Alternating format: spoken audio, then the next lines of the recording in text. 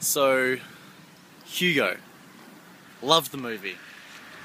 Um, wasn't too sure how I thought about Sacha Baron Cohen at the beginning because some of it was pretty, I don't know, his, his accent sounded a little bit ridiculous, if that makes sense. I guess if you watched it, you'll, you'll know what I'm talking about.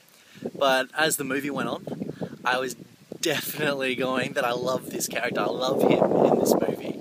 Um, but yeah, it's still still that lingering thought that I guess that his accent wasn't exactly um, something that I enjoyed.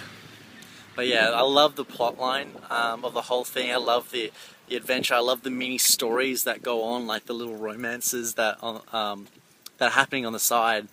Uh, it gives a, a, real atmosphere. I love how at the beginning of the movie, for like the first, I think it's 10 minutes, 15 minutes, like before the title, no one speaks um, except for towards the end of the that, that first time period, whatever you want to call it, where that old guy has that little conversation with him, and it really just sets the whole thing up. And I loved it um, when he's going through the, the clocks and he's taking out the numbers and having a look at everyone, and uh, you know you get to see how everyone interacts with each other, what they're like.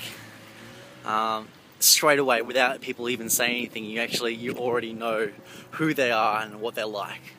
Um, so that was cool. Um, I guess if I was to rate it, I think I even did. I think on Netflix I gave it a five. So that's cool. Um, what else? I don't know. I just really enjoyed this movie. Um, I definitely. I've got like a. I've got a little brother. He's like five. Um, he's turning six this year, and I definitely want him to to get a chance to watch this movie. Oh, bus coming past.